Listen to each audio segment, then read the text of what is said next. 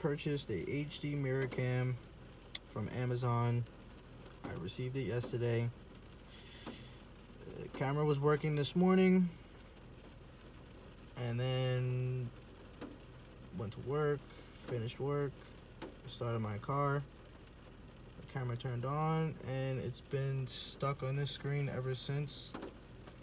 I have the reset key right here and I will show you that this is a waste of money because the reset does not work. So that is the reset right there.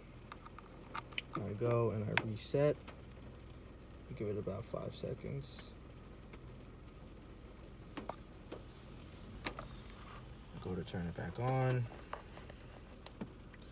Now I have to hold it because if I don't hold it it won't turn on. Short circuits. And will remain on this screen does not go past this screen.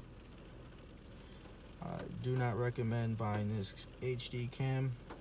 It is not worth the headache or the waste of money.